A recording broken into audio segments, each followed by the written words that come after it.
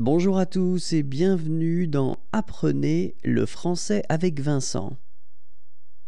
Et dans cette leçon de vocabulaire, je vous propose de découvrir de nouveaux mots. Vous êtes prêts? C'est parti. Ordinateur personnel. Ordinateur portable. Ordinateur tablette. Ordinateur de bureau.